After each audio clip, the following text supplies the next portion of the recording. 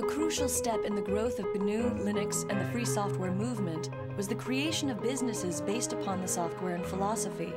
Ground zero for the beginning of the business phase was the Electronics Research Lab at Stanford University. Known as ERL, the lab was the place where the first GNU and Linux businesses found their inspiration. So right here is where ERL was.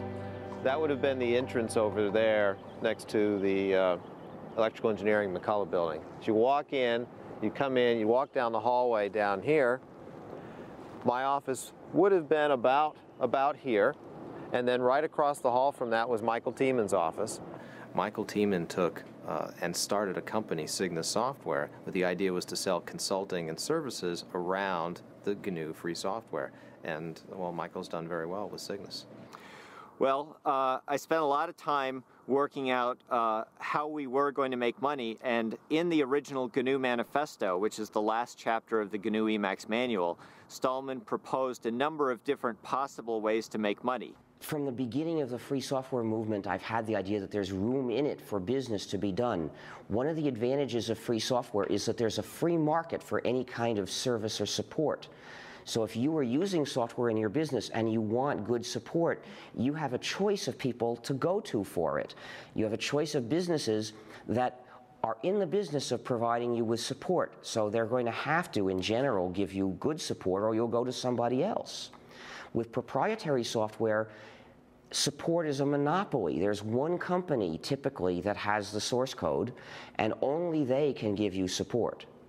So typically, you're at the mercy of a monopoly. That's the case, for example, with Microsoft. So no wonder the support is so bad. The benefits of free software were tremendous, but the cost of supporting it internally uh, made managers very, very nervous. And so the, the fundamental idea I had was if we could build a model that could deliver two to four times of support and uh, and uh, and handholding capability that an internal engineer could provide, and we could do it at one half to one quarter of the cost. That would meet the test of whether or not people would actually buy. And by about the fall of that year, we had all of the things worked out about who we needed on the technical team, what the terms of the sale would be, what the key price points were, and we actually received our incorporation in November of 1989. One of the most difficult things in starting our company was actually finding a name for it. I explained this to one of my friends, we were having difficulty, and he returned an email message that basically just had a bunch of words with the name GNU in it. And Cygnus was the one that looked least uh, obnoxious and least obscene. I can say very clearly that Cygnus was the first business that specialized in free software. Cygnus supported free software filled a very essential niche because we had this great software. You could get it for nothing, but you couldn't get support, and they made their money by charging for support. The GNU project started by building a toolkit of basic development tools such as a C compiler, a debugger, a text editor, and uh, other necessary apparatus and their intention was eventually to develop a kernel to sit underneath those and be the center of the operating system. By about 1990, they had successfully developed that toolkit, and it was in wide use on a great many variants of, of Unix, but there was still no free kernel. The kernel happened to be one of the last things we started to do, and we had started it not long before. And that's when Linus Torvalds came along. Linus or Linus? What's the exact your preferred pronunciation?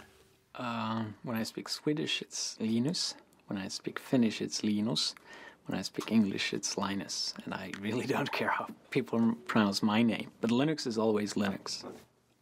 He developed a kernel and got it working faster than we got ours working and got it to work very nicely and solidly. His kernel is called Linux. The initial goal was my very personal goal to be able to run a similar environment on my computer that I had grown used to at, at the university computers. And I could not find anything that suited me for that, right? So, having been doing computers for all my life, basically, at that point I just decided that I'll do my own. Um, most of the inspiration early on came from from Sun OS, which was what um, I was using at the university at the time. Which university? University of Helsinki in Finland. From 1991 to about 1993 was really, I guess, the infancy period of Linux. That was when it was still only alpha or beta quality. It was relatively unstable, although even then it was a good deal more stable than a lot of what are now called production operating systems. Linus used the traditional tried and true method of writing one program that does the job, and he got it to work quickly, in fact, faster than I would have thought was possible.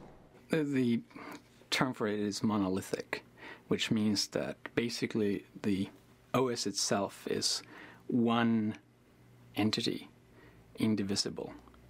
Um, while in a microkernel, the the operating system kernel is actually uh, just a collection of servers that do different things, and then they have a common protocol for doing communication between themselves. So why is it that if if the GNU project had had so much lead time, so to speak, doing this, why was why is it that he was able to kind of come in at the tail end, well, so to speak? we actually started the GNU Hurd not long before he started Linux.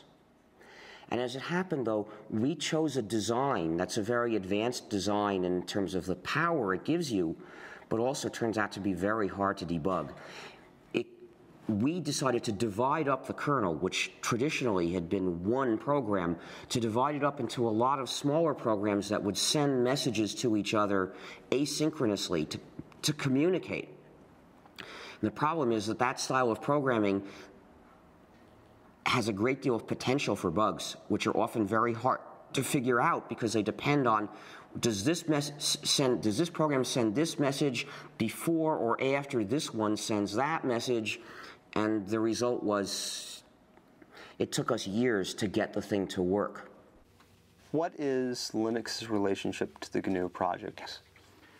Well there's there's relationships to, to gnu on kind of multiple levels one is just a philosophical level of, of thinking that making your source open is a good idea. When Linus developed the kernel, he wasn't doing it for the GNU project, he did it independently.